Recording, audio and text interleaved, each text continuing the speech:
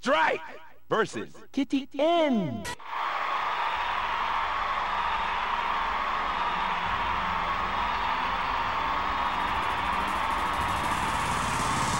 Let's see some sexy moves now.